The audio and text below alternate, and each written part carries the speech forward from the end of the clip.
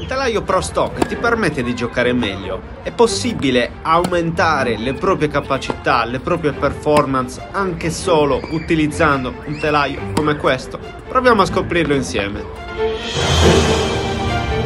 Eh sì, perché ci sono i telai che puoi comprare al negozio e quelli che non possiamo avere, che sono i telai Pro Stock, i telai giocatore. Davide è una...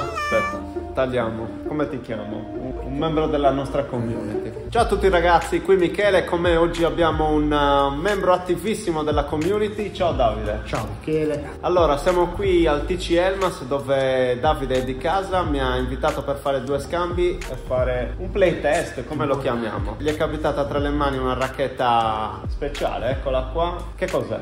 Beh, fondamentalmente è una Head Radical MP, però eh, una Pro Stock, eh, una TGT 307.2 completamente diversa dalla non è quella che possiamo comprare in negozio. E come ti è capitata tra le mani? Capitata tramite. Sei un ex professionista.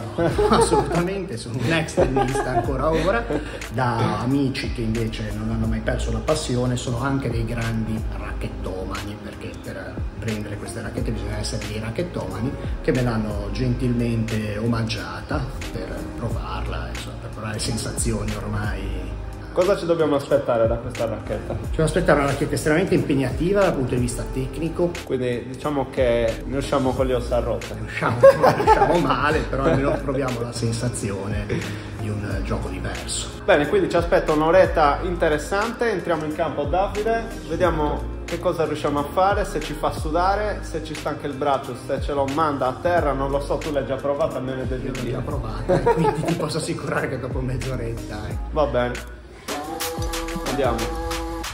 Allora, prime sensazioni, fatto un po' di scambi a metà campo per riscaldare, non senti il peso di 350 e passa grammi, la palla esce da sola. Vediamo che succede adesso alzando il ritmo.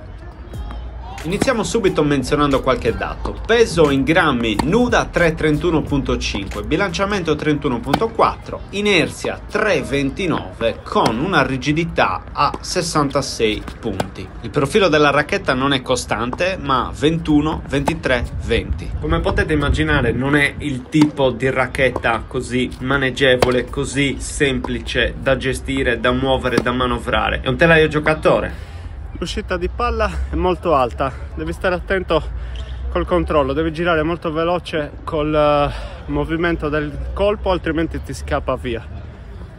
Per questo test abbiamo utilizzato una corda medio rigida una Head Oak Touch 1,25 una corda che comunque risponde abbastanza bene con sensibilità al gioco, ha un buon comfort, ha un'ottima spinta, chiaramente essendo una corda medio rigida c'è un effetto abbastanza notevole da questo punto di vista.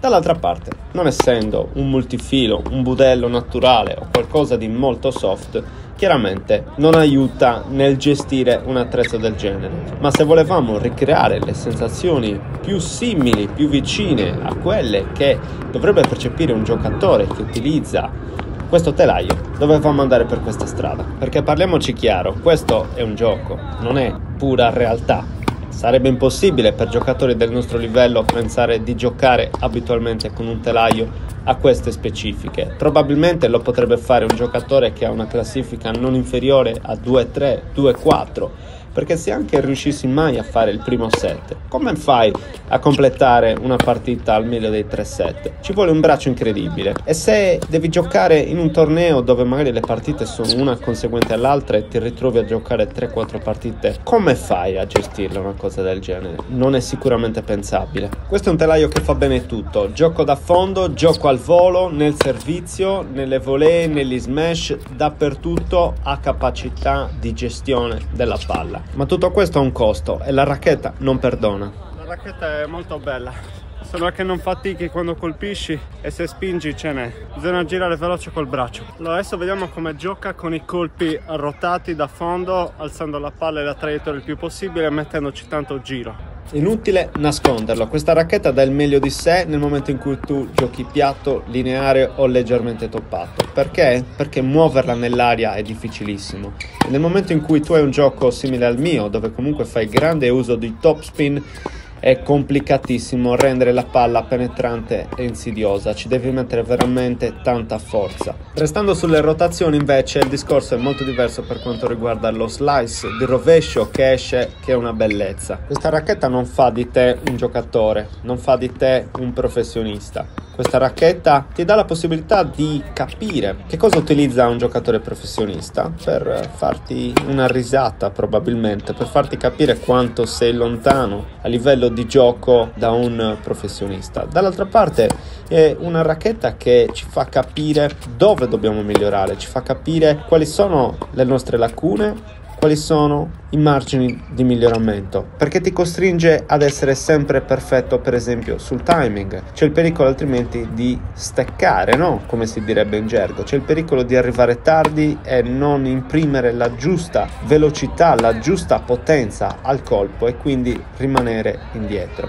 È una racchetta fondamentalmente esigente e se questo lo possiamo dire per alcune racchette come la Prestige che puoi trovare al negozio, su questo telaio è amplificato 10 volte. E lo dico io, ma lo conferma anche Davide che è stato così gentile da mettermi a disposizione il suo telaio di provarlo insieme a lui nei campi del TC Elmas. È una sensazione strana, giocare con questo telaio è come se mi abbia fatto tornare un po' indietro nel tempo, utilizzare la racchetta che utilizzava mio padre, che ne so, una Wilson Pro Staff Classic, una di quelle racchette mattone, la 200G quelle racchette che pesavano tantissimo ma erano anche effettivamente belle da utilizzare. Ecco, in questo caso è stato un po' lo stesso. Forse c'era un po' meno di sensibilità e di feeling col telaio perché comunque tutto sommato è un telaio moderno e questo te lo porti in dote. Dall'altra parte la gestione dell'attrezzo è molto simile a quel tipo di telaio di 20 o di 30 anni fa. E non è un caso che giocatori di 20 anni fa, come potrebbe essere Federer, o un po' più recenti come Nadal, Djokovic, Andy Murray, utilizzano dei telai più su questa fattispecie rispetto ai nuovi giocatori emergenti, da Sinner a Musetti, piuttosto che Nakashima o Jack Draper o Tsitsipas, utilizzino in realtà dei telai pro stock che sono decisamente di peso inferiore e che quindi riescono anche loro a gestire meglio perché il mondo del tennis ormai ruota attorno a questo tipo di approccio, a questo tipo di attrezzo. Allora Davide sta scaldando la spalla perché io non me lo posso permettere di servire con questa racchetta ma ne vogliamo parlare della maglietta all'Austin Tennis questa è una delle due che poi verrà doppiata con il nuovo logo giallo e nero. Ti devo fare anche l'autografo non lo so. Certo, sì, questo, perché poi fra qualche anno io sarò il primo ad avere esatto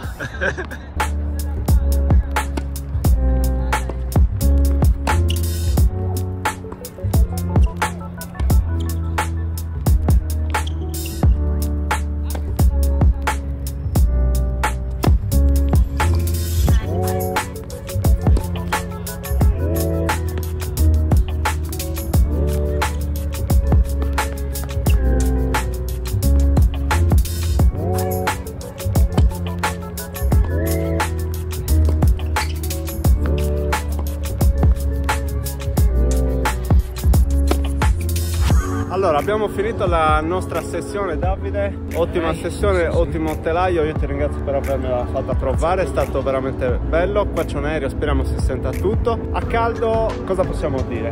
È servito perché io non ce la faccio con la spalla, cosa ti ha dato? Il servizio è, come presumo anche gli altri colpi, molto legato al, allo sweet spot. Se riesci a centrare la palla in quella zona diciamo limitata del centro del del reticolato la palla viaggia. Quando inizi a decentrarla, che per me è un'abitudine, la palla diventa anche difficilmente controllabile, le stecche sono all'ordine del giorno. Questo penso identicamente su tutti i colpi. Però possiamo dire una cosa, è una racchetta da professionisti, noi, noi non siamo professionisti. Abbiamo altri telai a disposizione. Infatti, infatti, però è una racchetta che secondo me per allenarsi un'ora, un'oretta e mezza alla settimana e cercare di migliorare centratura del colpo può andare bene. Può essere un termometro diciamo sì. del tuo gioco in un certo senso. Del time, insomma della capacità di essere sempre precisi sulla palla. Se vi è piaciuto questo video un bel mi piace, se l'avete adorato e vi sono piaciuti nostri, le nostre gesta in campo iscrivetevi al canale. Grazie ancora Davide. Grazie a te Michele e seguite sempre Lost in Tennis. Ciao.